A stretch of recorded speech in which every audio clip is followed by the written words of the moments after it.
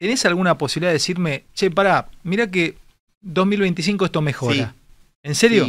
Sí. porque la cosecha, después de dos años de mala cosecha, no, es raro que haya una tercera cosecha mala con lo cual debería haber una buena cosecha y ellos son más dólares.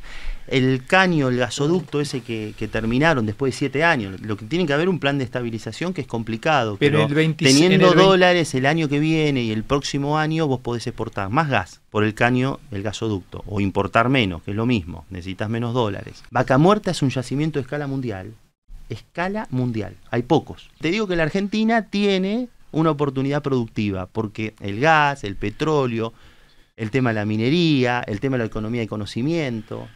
Son todas cosas que nos van a permitir fortalecer la economía.